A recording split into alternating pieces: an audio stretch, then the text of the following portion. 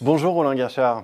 Bonjour. Vous êtes consultant associé au cabinet Montgolfier Management, spécialiste des questions d'engagement au travail. C'est la mise en route du désir de travail en préservant euh, l'identité professionnelle face aux risques psychosociaux. Auparavant, vous avez été psychothérapeute et vous avez publié le livre Les personnalités difficiles ou dangereuses au travail aux éditions Elsevier Masson qui décrit le fonctionnement psychique des individus dans leurs relations au travail. Alors, première question, euh, quels sont les critères qui permettent de définir qu'une personne difficile dans un environnement professionnel. Alors, pour anticiper un peu sur votre réponse, vous, euh, avez identifié quatre balises. Inadaptation